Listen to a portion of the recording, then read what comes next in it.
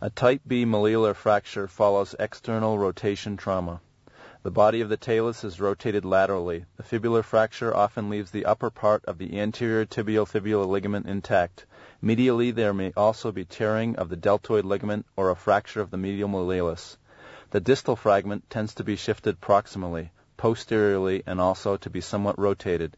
It remains attached to the posterior tibio-fibular syndesmotic ligament. The fixation is achieved with an independent interfragmentary cortical lag screw. This fixation is secured with a neutralization plate. Usually a 5-hole one-third tubular plate is suitable. The patient is operated upon in the supine position. The injured leg should be elevated to facilitate intraoperative lateral X-ray control.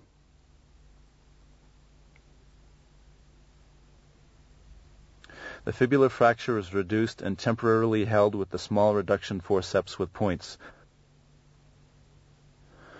A 3.5 millimeter gliding hole for the cortical lag screw is drilled into the ventral cortical bone of the proximal fragment.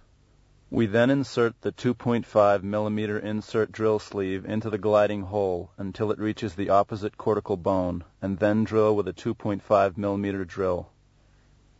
The length of the hole is measured and the posterior cortex tapped with the cortical tap. When inserting the lag screw, the compression effect at the fracture line should be closely observed. The reduction forceps should be removed before the final tightening of the screw.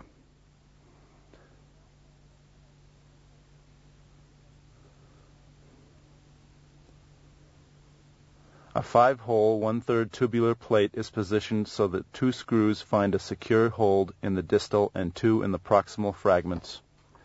Before the plate is finally applied, it must be contoured. To accomplish this, we use the flat-nosed pliers, the bending pliers, and the special aluminum template. The plate is contoured distally with a short, sharp bend. In the center, the plate's curvature conforms to the contour of the surface of the lateral malleolus. The plate should now fit perfectly onto the bone contour throughout its entire length. Position the plate firmly by hand and plan the position of the first proximal screw near the fracture. Remove the plate and drill a 2.5 millimeter hole through both fibular cortices at the planned screw site.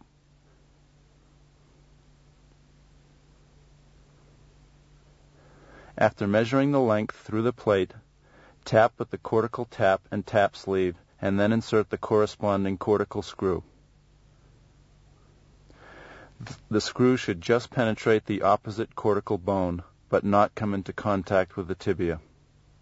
The distal two screws are aimed towards the articular surface of the lateral malleolus. Ensure that their tips do not protrude into the joint. We drill carefully until just penetrating the opposite cortical bone.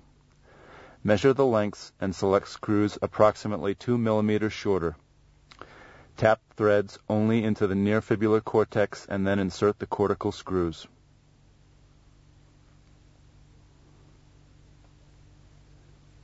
Insertion of the proximal screw.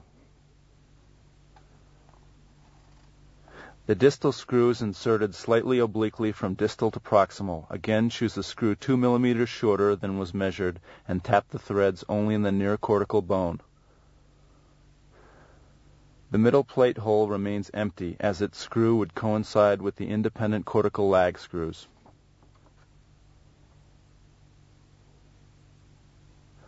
All screws are gently tightened.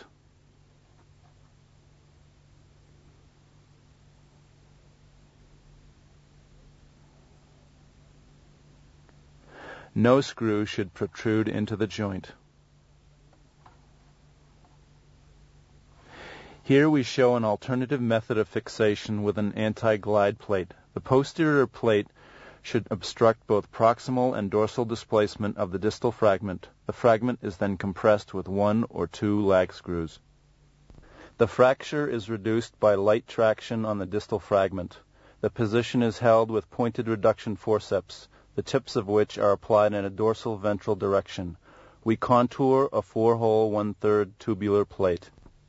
In order to improve the anti-glide buttressing effect, the plate is slightly bent at its distal end. This applies a ventral suspension on the distal fragment which puts additional compression across the fracture surfaces. Approximately 3 to 5 millimeters proximal to the dorsal tip of the distal fragment, we drill a 2.5 millimeter hole through both cortices in a dorsal ventral direction. Measure the length through the plate hole, tap with the cortical tap, and insert the first cortical bone screw. For demonstration purposes, we may now remove the pointed reduction forceps, so that we can certify that the anti-glide effect has stabilized the fracture. To prevent a displacement during the remainder of the operation, we will reapply the pointed reduction forceps. Insert a second screw in the proximal plate hole in a similar manner. We now plan to insert a lag screw through the distal plate hole. Drill the gliding hole through the posterior cortex using a 3.5 millimeter drill. After inserting the insert drill sleeve, drill the anterior cortex with a 2.5 millimeter drill. Insert the cortical screw after measuring its length and after tapping the anterior fibular cortex with the cortical tap. If the bone is osteoporotic, a similar lag screw is inserted through the remaining distal plate hole.